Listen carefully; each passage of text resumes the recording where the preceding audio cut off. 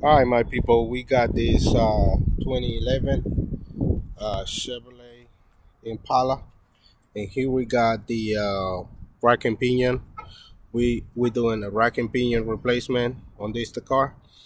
Uh, the reason why is because the rack and pinion is leaking up from this area here, from this area here, and from this from this area here.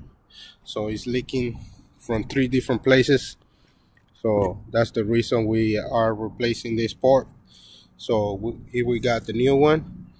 Uh, this is a new, uh, remanufactured part uh, it's not a new one. Uh, all these parts you cannot get a new one.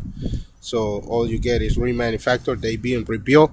Uh, but they work just as the same as the new one. So we have this part is ready to go in in this Impala like I said, we got everything already disassembled.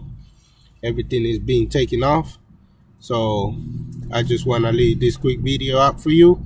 So if you need a service like this, you can give us a call and we can help you out with any rack and pinion need So here we got rack and pinion replacement on this 2011 Chevy Impala uh, 3.5 liter. You can see here 3.5 so thanks a lot for watching and please subscribe to our channel